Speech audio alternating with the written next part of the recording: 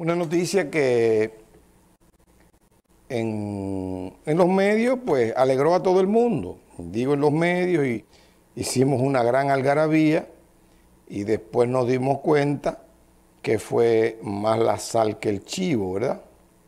Y cuando digo que fue más la sal que el chivo y la alegría que tuvimos fue muy corta, porque parece ser que eh, seguirá pasando esto eh, por un tiempecito hasta que le permitan al eh, director de la Policía Nacional, eh, Alberto Ten, el poder cumplir con la orden ejecutiva que emanó prohibiendo los retenes y las revisiones en las policías, en las calles. Puede venir aquí. Me envían y me van a seguir enviando de las partes donde suceda pasó en Navarrete, pasó en San Pedro y el más cercano aquí anoche. Lo mismo que le hiciste a esta, a la frontal ahorita. Fíjense, fíjense esto. Esto es un grupo de personas que va, va en la noche, va en la noche y me decidió mandar esto. Después de esta llamadita lo ponemos. Buenas noches. Tiene que bajar el volumen del televisor, hermano, hermana, a ver si le podemos escuchar bien. Sí, buena. Buenas noches, dígame usted. Sí, Pitágoras, mira, yo te tiro de aquí del sector de Villaverde. Sí. Eh, aquí tenemos, esto es un caos, aquí hay un Bonani, una escuela seca, mira, y aquí lo que es la basura y, esta calle es tan pésima, mira, aquí te han dado de trayones los muchachitos cuando van para la escuela, que esto da, da, da vergüenza esta calle, mira, está, porque estaban bregando con la, con la cantarina, la placa, y esto lo dejan así, todo es una vaina, y yo quiero ver si a ver nos pueden ayudar para ver si nos tiran para de viajar de material. Repíteme el sector. Sector, sector Villaverde. ¿En qué calle? Después de los Grullones. Después de los Grullones, pero eso es todo el barrio en la calle principal. Sí, no, todo es, es un caos, un caos. Aquí esto uno la por, todo, por todos los lados. Sería difícil que le trabajen a todas las calles, pero para que por lo menos la calle principal ahora... Ah, claro, claro, claro, principalmente que sea a la, a, la, principal. Nosotros le haremos llegar su queja a las autoridades, Villaverde. Muy bien. Pues está bien, pues muchísimas gracias, ya usted sabe. Estamos para servirle. Ok, ok. Entonces quiero, para que ustedes vean este video, y ustedes juzguen eh, de acuerdo a su propia inteligencia y me digan qué ustedes aprecian. Y yo entonces ahora le voy a hacer el comentario.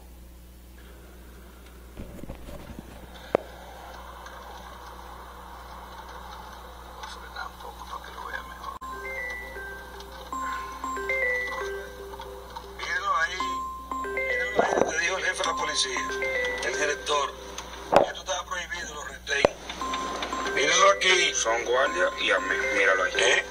Esto es camino ya de Castillo para, para San Francisco, mírenlo. Mírenlo como están ahí. Mírenlo. Muy bien, lo vieron, ¿verdad? Ahí está, él lo prohibió y su subalterno le desobedece. Buenas noches, a su orden. Sí, buenas noches, Pitágoras. Un placer, señor, colega Mercedes. Colega, sí, mire, doctor, le estoy llamando porque usted sabe que la semana pasada el jefe de la policía, nuestro general de la provincia, había prohibido los lo precisamente ahora que yo veo que tú estás subiendo un video.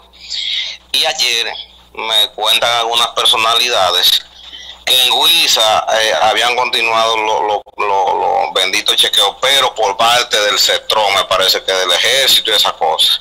Seguimos lo mismo, Diógenes. Sí, porque se le a policía. Lo que pasa es que como el como el, director de la policía envió un memorando y saben que el, el, policía que se ha sorprendido en eso lo van a sancionar, pues entonces ahora van a aprovechar para la cogioca en este tiempo, ya que la policía se recesa, ahora tendremos los guardias tenemos al, tendremos al Ciutrán, tendremos a lo mejor al Coba, a la Escoba y al Diablo y su hermana en la picadera en las calles. Entonces, por un lado lo, lo, y por otro y por otro es la misma mierda. Digo, la misma cosa. Sí, dígame. Exactamente, pero entonces lo que teníamos que hacer era que el jefe de la policía ni se pronunciara en ese defecto.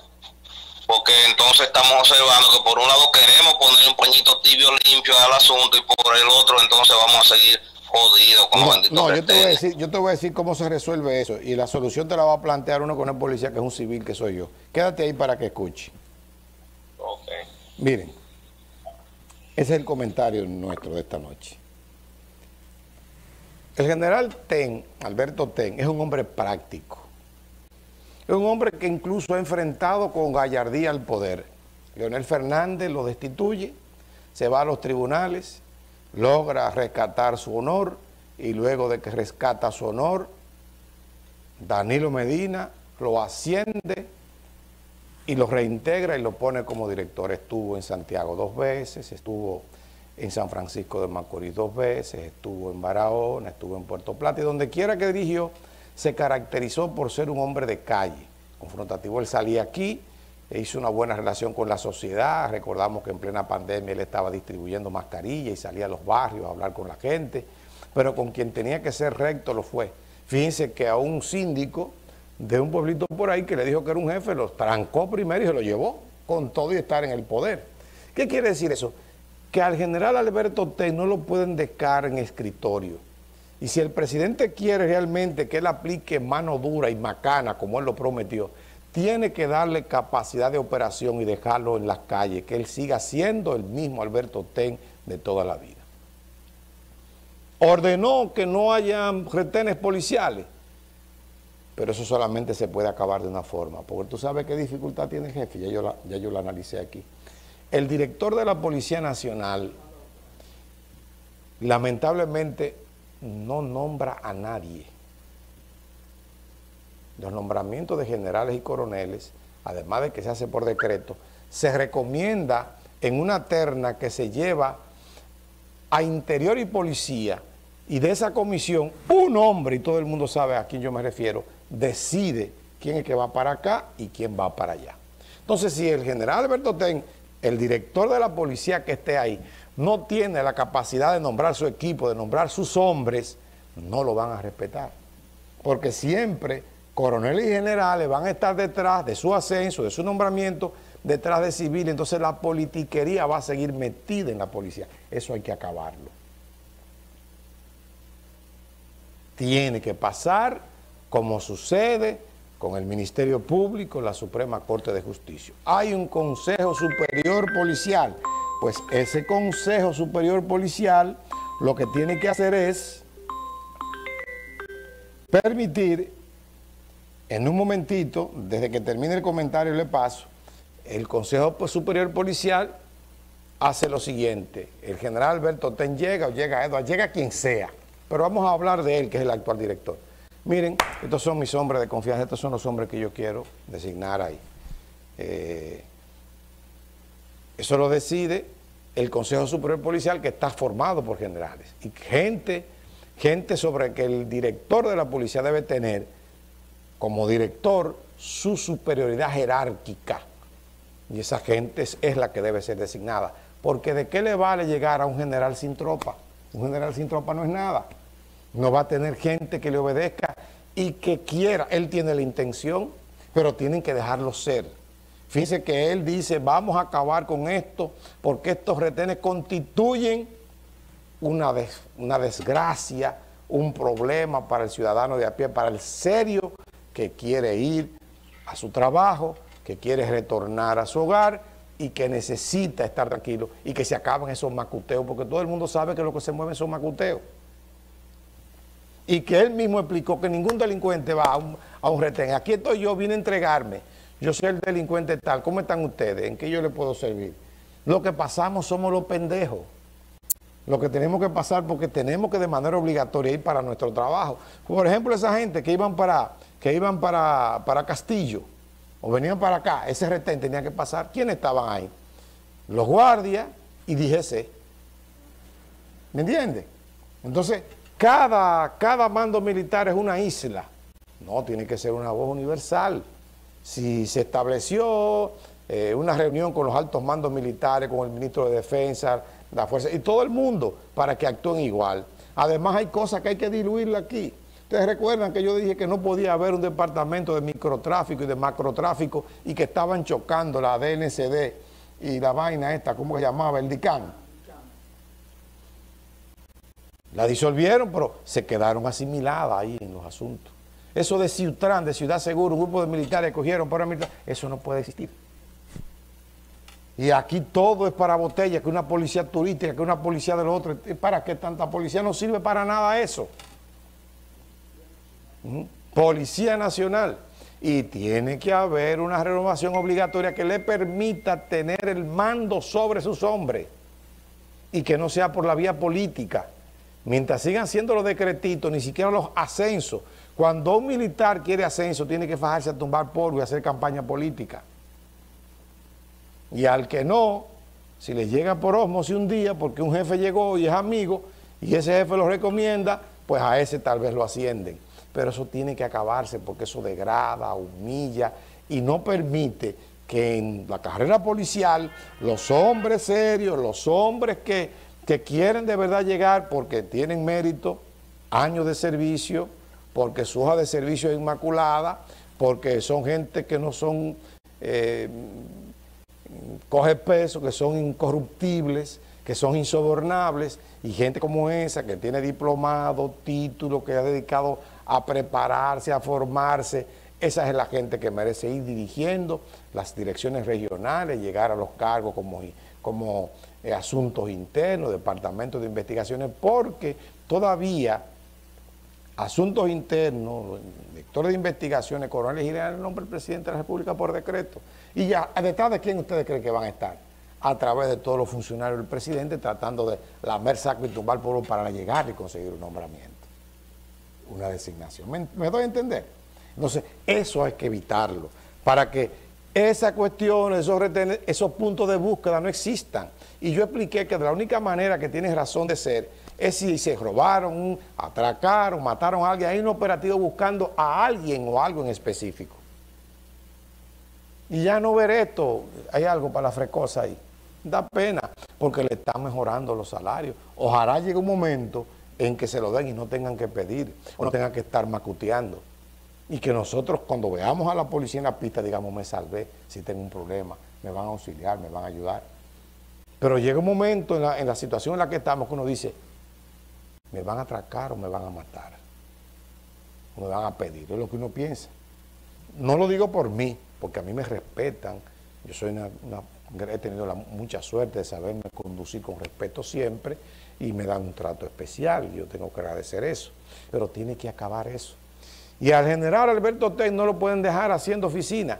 Tienen que dejarlo porque él es un hombre de calle, práctico tiene los elementos suficientes para enfrentar el tigueraje y nosotros no queremos que le metan mano dura al hombre serio y que lo fastidien como se le metió a Chubac en la cabeza una estupidez de desarmar a la gente armada en esta población a lo que tienen las armas legales. Eso es un idiota. Entonces los delincuentes están armados hasta los dientes y nosotros tenemos una prohibición que opera desde el, desde cuándo, desde el 2016, la importación de armas prohibida eso es una estupidez. Ahora que hay una proliferación de armas ilegales, las armas legales se pusieron que cuestan más una, una pistola que un carro.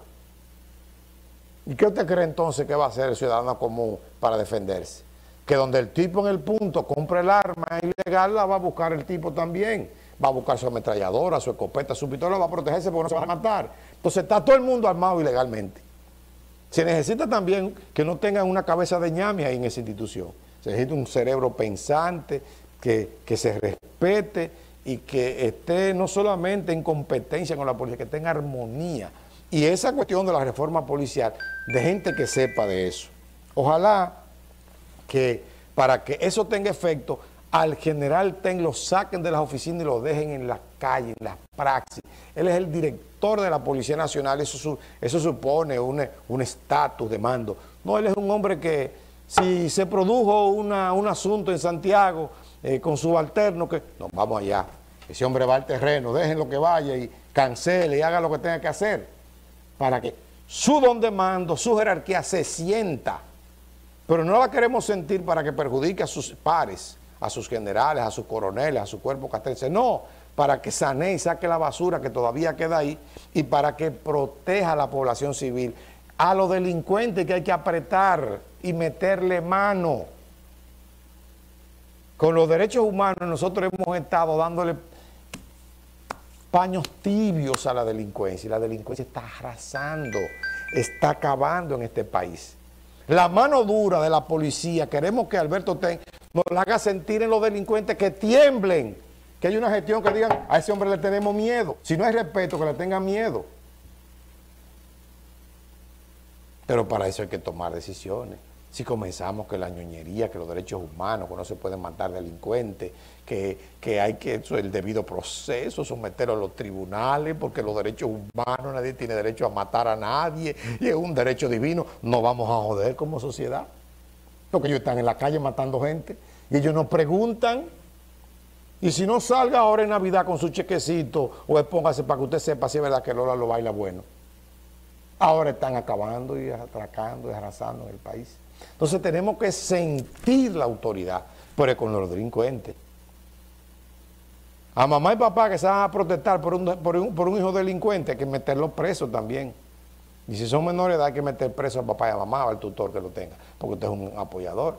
Porque la costumbre que hay es que en los barrios, este atracador, este delincuente de mi barrio, a este yo no le denuncio porque este vive cerca de mí, después me jodo yo, ¿verdad? Entonces nosotros estamos encubriendo y apoyando como pasaba aquí. Yo le voy a mencionar un nombre. Aquí había un delincuente que era un asesino que tenía una de las bandas más peligrosas y no tenía una sola ficha porque no había caído preso nunca. Protegido, vivía en diversas casas en los sectores y lo protegieron un dios, un ídolo y así han pasado muchas bandas. Yo no tengo que mencionar nombres porque todo el mundo sabe que ya quedaron en el pasado porque aquí pasaron dos manos pesadas que fue Siriaco Núñez, que acabó con esa banda completa, lo exterminaron, hay que darle gracias a Dios por eso. Y a pesar de que metió la pata después cogiendo, haciéndose millonario, pues ya termino diciendo que hay que decir entonces que los cirujanos y como enfermí hicieron su trabajo de limpiar las piernas, dejar muchos inválidos y muchos lo mandaron para el cementerio y estamos más tranquilos por eso. Que disculpen los derechos humanos y que me disculpen los cristianos, pero aquí hay que darle mano dura a los delincuentes o ellos o nosotros, esta sociedad no puede seguir así. Ojalá que le den capacidad de accionar, que lo dejen ser él, con los cojones que tiene Alberto Ten, y que actúe apegado a la ley, pero con rigurosidad. ¿Mm? Que operemos la tranquilidad, pero cuando haya que aplicar la tranca y la macana, que se aplique. Hasta la, hasta la esposa del presidente, aunque después entendió que, se, que dijo, bueno, me metí un poquito la pata. Necesitamos mano dura y macana, dijo la Raquel Arbaje. Porque hasta cuando ella vio que mataron a la muchachita, que mataron a la otra, los pastores, y comenzaron y matando tanta gente, bueno, pues caramba, ojalá y que reflexionemos en eso.